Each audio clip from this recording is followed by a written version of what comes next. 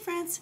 It's the calm before the storm here in my house as we are hosting Thanksgiving, but I wanted to share with you my project. This is the Sue Ellen scarf from uh, Expression Fiber Arts.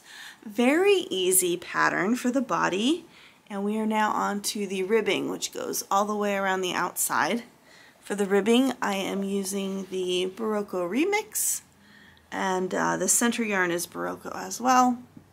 So just really enjoying this project. I'm not a big fan of back loops, but uh, it's worth it to get this ribbing effect.